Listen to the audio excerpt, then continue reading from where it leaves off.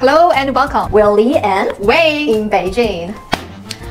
Wait, I got a question for you. Yes. Um, is Bingdun a boy or a girl? Ooh, that's a tricky one. But I happen to know this. Dun Dun is neither a boy nor a girl. It's gender neutral. That's right. And apart from that, Olympic mascots are not meant to talk under the IOC guidelines. Bing Dun Dun it is so popular these days. It's been selling like hotcakes. And you know what? One of our colleagues just got one yesterday. So jealous! I heard it's so out everywhere in China. Not only in China, a journalist from Japan has been a huge fan of Bing Dun Dun. You may have heard of him. His video went viral on the internet. He showed out his collection of Bing Dun Dun badges during the live show and excitedly promoted the mascot to a Japanese audience.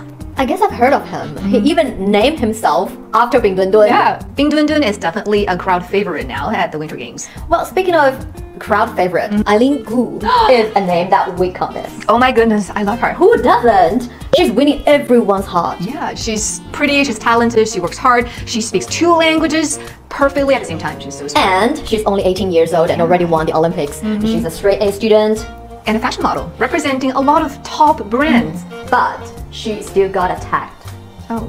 mainly by Western media. and mainly by US media. she often got questioned about her citizenship. Some media even used words like traitor or ungrateful to describe her.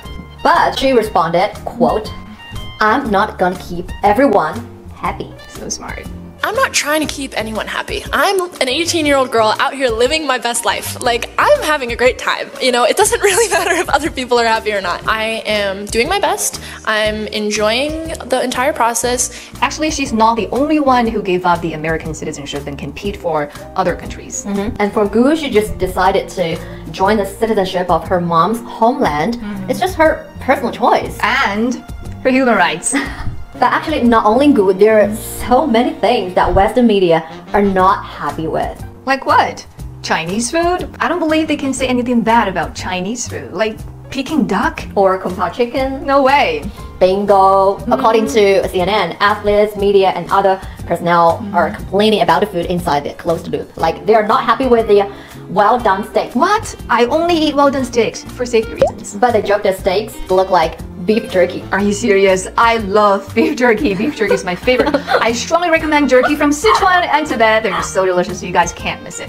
Everyone actually has his or her own preference for food, right? Like you love, um, Steak well done. and I prefer medium rare. And I've seen lots of posts by the athletes from the internet showing their lives inside the bubble, aka the closed loop. In between competitions, uh, I've just been eating. That's how I've been killing the time because the food is so good. Check it out. We got the black pepper mushroom beef dish. Oh, sweet and sour pork.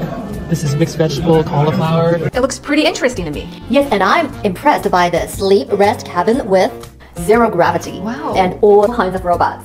And besides, steaks are served well done due to COVID concerns. Hmm. Some athletes are complaining about China's COVID restrictions, saying it's too, quote, stringent and pushing Olympians to their limits. Quoted by who?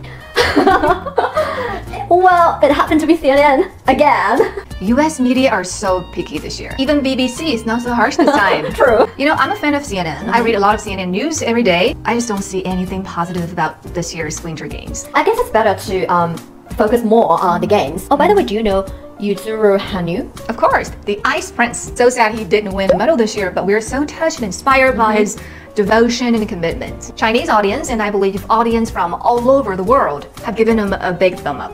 And that, I think, is the right way to enjoy the Winter Games. But it's just not right to politicize or say. Um, Nationalize sports. Exactly. And some media are just trying so hard to think of every possible point to attack the Winter Olympics or China. You know what? We're so busy covering the games already. So true. But because of you, we, have to OT! Please give us a break. Just enjoy the games. Mm-hmm. and that wraps up today's show. Thank you for watching. Bye for now.